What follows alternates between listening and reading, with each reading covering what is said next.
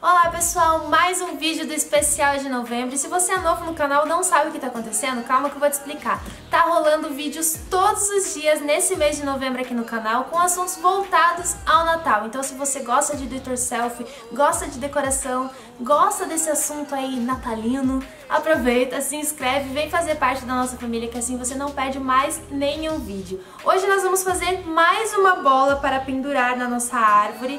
Vamos fazer essa daqui com pompons. Ainda está com um pouco de cola quente, porque eu não tirei, deixa eu mostrar pra vocês. Elas são lindas, super fácil de fazer e eu tenho certeza que vocês vão gostar. Então bora lá pro passo a passo. Para esse tutorial a gente vai utilizar essa bolinha de isopor.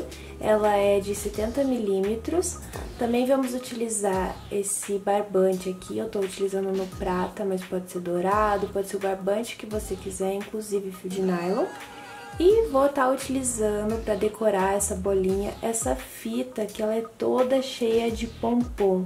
Ela é bem baratinha, se vende por metro e você encontra em casa de tecidos, em armarinho, é bem fácil de encontrar. Vou começar colocando um pingo de cola aqui na base, aonde eu vou fazer para pendurar. Então eu vou colocar aqui o cordãozinho já para pregar ele aqui e a gente poder deixar ele escondidinho antes de decorar. E eu já venho em seguida aqui com o meu pomponzinho. Assim ele já vai escondendo e deixa um acabamento mais bonito. a gente vai fazendo como todas as outras que a gente já fez aqui. Inclusive, se vocês não viram, dá uma olhada. Eu vou deixar a playlist de Natal aqui embaixo. Tem vários vídeos natalinos rolando aí. E também tem vários vídeos de bolinhas de Natal, que eu acho bem interessante fazer vários. E ó, a única coisa que a gente tem que tomar cuidado com essa daqui é na hora de passar a cola, não colar os pompons que já estão aqui por cima. Então a gente dá uma puxadinha no pompom passa um pouquinho de cola e vem com a fita. Como eu tô utilizando o pompom branco, eu não pintei a minha bolinha porque vai ser o fundo branco mesmo. Agora, se você for utilizar uma outra cor, o legal é que você pinte a sua bolinha, né, dê uma base com a cor que você vai fazer para daí então começar a colar a fita, porque assim fica um acabamento mais bonito e esconde mais o branco do isopor. Cheguei aqui no finalzinho, vou cortar a fita. Ó, falta esse pedacinho aqui para colocar. Vou passar mais um pouquinho de cola quente. E vou finalizar. E a bolinha tá pronta. Essa aqui é uma outra que eu tô fazendo e eu tô colando a fita bem rente, ó, até em cima uma da outra.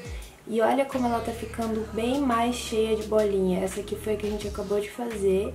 E ó, até aparecem uns pedacinhos de isopor, porque eu deixei assim por opção, pra ver como é que ficava. E eu achei as duas legal, pra dizer a verdade, assim.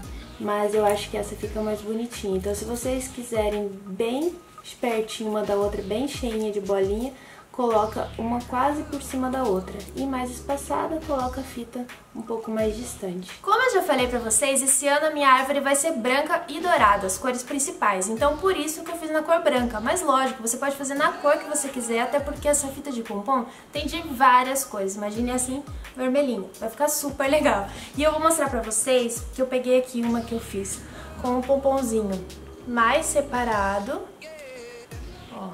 também fica legal. E também a que eu fiz com o pompom, deixa eu ver, tá vendo? Mais fechadinho, que eu particularmente gostei mais assim, achei que ficou mais carneirinho. achei mais fofinho. Mas as duas ficaram legais e colocando assim, ela até ficou parecendo, sei lá, que caiu neve, não sei.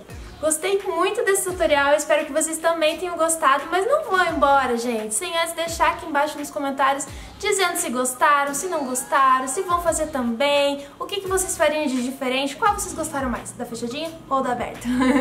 também me deixa aquele like e se é novo no canal, aproveita, não é inscrito ainda? Se inscreve, vem fazer parte da nossa família você também. Um big beijo, fiquem com Deus e até o próximo vídeo. Tchau!